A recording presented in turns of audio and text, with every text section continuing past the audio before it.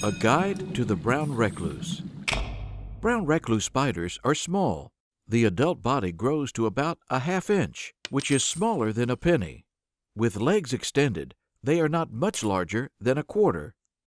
While most spiders have eight eyes, the recluse only has six eyes, grouped into three pairs. The legs are delicate and thin, with no spines and no markings.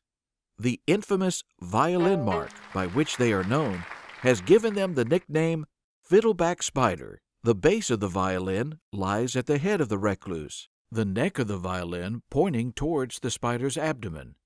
The abdomen is a consistent color, smooth in appearance, with very fine short hairs. The brown recluse spider lives in the central and midwestern states. Traveling in shipments or luggage is possible, but it is extremely rare to spot a brown recluse outside of the area shown on this map. A few relative recluse spiders do live in Southern California, Arizona, New Mexico, and Texas.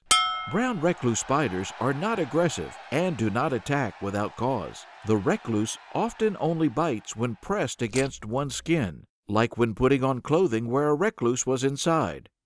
A brown recluse cannot bite through clothing. If bitten, seek medical attention. If safe to do so, catch the spider in a glass jar or plastic bag to present to the medical professional. While waiting for medical attention, one can apply an ice pack and elevate the affected area. The initial bite does not cause pain. Signs of the bite are delayed and may not appear for up to eight hours, at which time the bite area will become red, tender, and swollen. Warning Danger Necrosis Cellular death. The venom of the brown recluse is medically significant and can cause severe tissue damage. Seek medical attention immediately if bitten by a brown recluse.